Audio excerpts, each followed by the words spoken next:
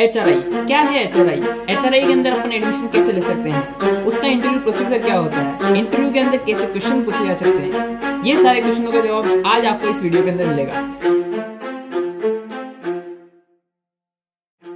तो आई और आईजस की तरह ही एचआरआई भी एक ऐसा इंस्टीट्यूट है जो फुली डेडिकेट है research in mathematics and physics so अगर एरिया इन फिजिक्स के बारे में बात किया जाए कि कौन कौन से टॉपिक्स के ऊपर वहाँ पर रिसर्च होती है तो उनके अंदर शामिल है अपना condense matter physics astrophysics string theory quantum information and the particle physics and H ने अभी हाल ही के अंदर रिसेंटली एमएससी प्रोग्राम भी स्टार्ट किया है इन फिजिक्स के अंदर, जिसका बेसिकली इंटरव्यू प्रोसीजर के थ्रू ही आपका एडमिशन होता है।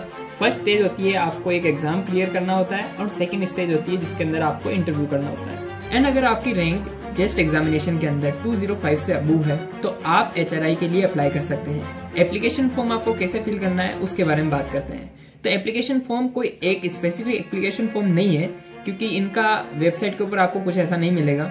तो एप्लीकेशन आप कैसे करेंगे? तो एप्लीकेशन करने के लिए आपको करना ये होगा कि उनकी एक ऑफिशियल वेबसाइट के ऊपर नहीं जाके आपको उनको डायरेक्टली मेल करना है। तो मेल आईडी कौन सी है? मेल आईडी है हमारे पास, ये जो आपके सामने स्क्रीन के ऊपर दिख रही है। इस मेल आईडी के ऊपर आपको क्या क्या सेंड करना है उनको? फ़र्स्ट ऑफ़ ऑल आपको अपना नाम सेंड करना है। नाम के बाद में आपके पास आपकी जो ईमेल आईडी है, जिसके ऊपर आप अक्सर मेल वगैरह चेक करते रहते हैं तो आपकी डेली यूज़ के अंदर आने वाली ईमेल आईडी आपको वहाँ पे लिखनी है। थर्ड वन है कि आपको अपने कॉन्टेक्ट नंबर वहाँ पे देने होंगे, और द फोर्थ वन है कि जेस्ट के अंदर आपका स्कोर कितना रहा।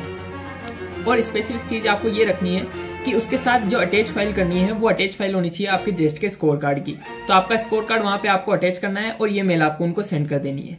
तो मेल सेंड करने के पंद्रह या बीस दिन के बाद ही आपको मैसेज आ जाएगा कि आपकी इंटरव्यू प्रोसीजर का डेट वगैरह क्या होगा। और अगर आपके पास ऐसा नहीं आता है, क्योंकि मेरे केस के अंदर ऐसा ही हुआ था कि मेरे को कोई सा भी नोटिफिकेशन नहीं आया था मेल के ऊपर। और लेकिन अगर उसकी एचआरआई की अगर वेबसाइट के ऊपर आप जाएँगे चेक करते रहेंगे तो आपको वहाँ पे एक पीडीएफ मिलेगी जिसके अंदर आपके शेड्यूल लिखे हुए होंगे। तो वहाँ से मेरे को पता चला फिर मैंने उनको वापस इंक्वायरी के लिए मेल भी किया। तब जाके उन्होंने मेरे को जूम मीटिंग की जो भी आईडी है वगैरह वो सेंड करी थी। ओके okay, तो अब मेरा इंटरव्यू एक्सपीरियंस कैसा रहा? मेरे से कौन कौन से क्वेश्चन पूछे गए? तो उनके बारे में हम थोड़ा सा चर्चा करते हैं। सो so, मेरा इंटरव्यू स्टार्ट हुआ था मॉर्निंग के आई थिंक टेन एम के आसपास। और उसके अंदर पैनल के ऊपर तीन टीचर थे तीन फिजिक्स के प्रोफेसर थे। तो उन प्रोफेसर्स ने सबसे पहले मेरा इंट्रोडक्शन लिया और इंट्रोडक्शन लेने के बाद में मुझसे पूछा कि आपने अपनी ग्रेजुएशन के अंदर कौन कौन से सब्जेक्ट पढ़े हैं या फिर फिजिक्स के अंदर क्या क्या पढ़ा है? तो मैंने उनको बता दिया कि मैंने क्वांटम मैकेनिक्स पढ़ी है क्लासिकल मैकेनिक्स पढ़ी है न्यूक्लियर मैकेनिक्स पढ़ी है और उसके अलावा क्या पढ़ा है? तो ये सारे टॉपिक्स मैंने उनको बता दिए। आपने जो पढ़े हैं, आपको वो बताने हैं। उसके बाद उन्होंने स्टार्ट कर दिया था मेरे से सवाल पूछना क्वांटम मैकेनिक्स से। तो क्वांटम मैकेनिक्स के अंदर उन्होंने सबसे पहले उनकी अगर अप्रोच अगर आप देखें तो उनकी अप्रोच कैसी रहती है कि वो सबसे पहले आपके ग्राफ प्लॉटिंग के ऊपर ज़्यादा ध्यान देते हैं। तो ग्राफ प्लॉटिंग के ऊपर ध्यान देते हुए उन्होंने क्वांटम मैकेनिक्स से ही मुझसे ग्राफ पूछा था। तो उन्होंने एक पोटेंशियल का मेरे को फ़ंक्शन दिया था, जो पोटेंशियल का फ़ंक्शन आप देख सकते हैं स्क्रीन के ऊपर। ये फ़ंक्शन रहेगा। तो इस फ़ंक्शन के अंदर उन्होंने बताया कि मेरे को कि आप इस सेक स्क्वायर हाइपरबोलिक एक्स का ग्राफ कैसे प्लॉट करेंगे। तो इस फ़ंक्शन को आपको प्लॉट करना है। तो प्लॉट करना आपको आना चाहिए। तो सेकेंड ऑफ़ थिंग क्या ही, कि आपको पूछा गया था कि, मेरे को पूछा गया था कि आपको वेव फ़ंक्शन इसके लिए ड्रॉ करना है, या फिर आप इसके लिए वेव फ़ंक्शन कैसे निकाल सकते हैं। तो मैंने बता दिया कि श्रोडिंजर इक्वेशन के थ्रू अपन वेव फ़ंक्शन निकाल सकते हैं। थर्ड वन थिंग जो उन्होंने पूछी थी मेरे से इनके, इसके अंदर, कि आप इस फ़ंक्शन के अंदर अगर मास को चेंज करते हैं, या फिर मास को वेरी करते हैं तो उसके अंदर क्या इफ़ेक्ट आएगा वेव फ़ंक्शन के ऊपर। तो ये सारी चीज़ें आपसे क्वांटम मैकेनिक्स के अंदर पूछी जा सकती है। तो ओके देन मेरे से पूछा गया था क्लासिकल मैकेनिक्स के अंदर।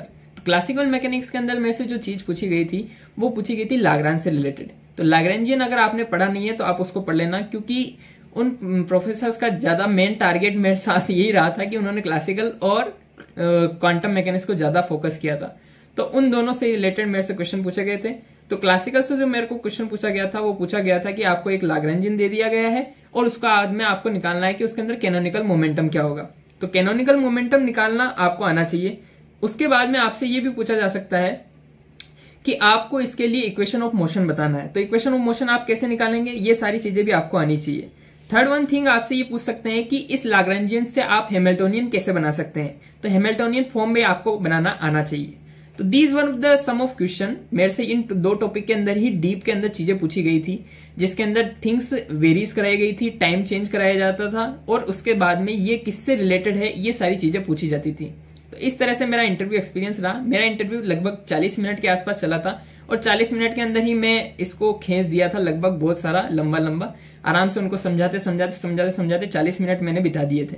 तो इस तरह से मेरा इंटरव्यू एक्सपीरियंस रहा। सो इन फ्यूचर हम ऐसी और वीडियोस लाते रहेंगे जिसके अंदर आईएसएस के इंटरव्यू और आईआईएससी के इंटरव्यू के बारे में भी आपसे बातें होती रहेगी।